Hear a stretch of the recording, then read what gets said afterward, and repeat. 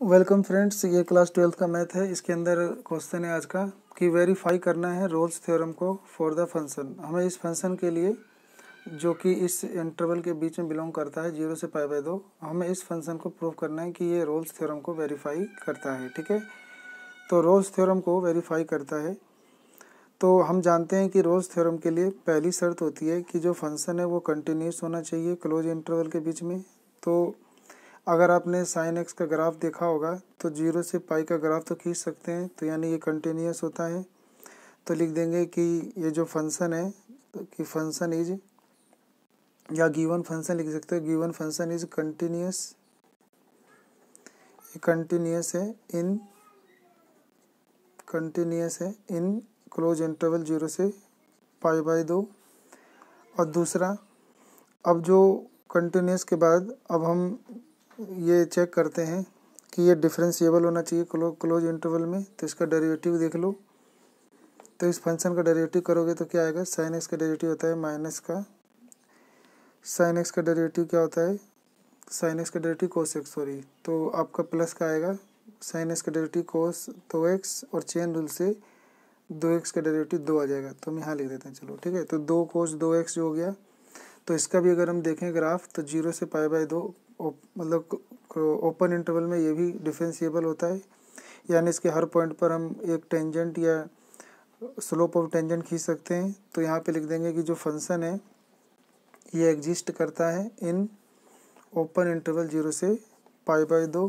तो इसीलिए हैंस इस प्रकार एफ़ जो है इज़ डेरी डिफरेंशिएबल लिख सकते हो या डेरिवेबल लिख सकते हो? डेरिवेबल इन ज़ीरो से पाई बाई दो। दो शर्तें पूरी हो गई। अब तीसरी शर्त होती है कि ये जो पॉइंट दिया हुआ था, इस पॉइंट पर जो फ़ंक्शन की वैल्यू वो इक्वल होना चाहिए। तो एक बार जो फ़ंक्शन है, उसमें एक बार ज़ीरो चेक करेंगे और एक बार फ़ंक्शन में मतलब ये पाई बाई दो जो है वो चेक करेंगे, ठीक है? तो फ़ंक्शन क्या था आपका? साइन दो एक्स था। तो आप यहाँ पे साइन दो एक्स की जगह ज़ीरो पुट करेंगे तो साइन ज़ीरो ज़ीरो डिग्री तो ज़ीरो डिग्री ज़ीरो होता है। ऐसे यहाँ पे लिखेंगे sine two multiply pi by दो दो से दो कट गया तो साइन पाई तो एन पाई पे साइन ज़ीरो होता है। तो इसलिए एक पाई पे भी ये ज़ीरो होगा। तो इसका मतलब ये भी ये भी इक्वल हो गया। तो लिख देंगे हेयर हेयर जो ऑल कंडीशन है वो अप्लाई हो रहा है। तो हेयर्स रोल्स लिख देंगे रोल्स ठीक है, लिख देंगे रोल्स, यहाँ comma S, Rolle's theorem Rolle's theorem are, applied यानी अप्लाइड हो रहा है, या फिर लिख सकते हो सेटिस्फाई, ठीक है, सेटिस्फाइड यानी सेटिस्फाइड हो रहा है। तो सेटिस्फाइड के बाद लिख दोगे कि हैंस तो अब इसके बाद क्या लिखेंगे? हैंस, अब लिख देंगे हैंस, देयर एग्जिस्ट, मान लेंगे there exist a point point C belongs to close open interval zero से पाई बाई दो के बीच में कोई पॉइंट बिलोंग करता है।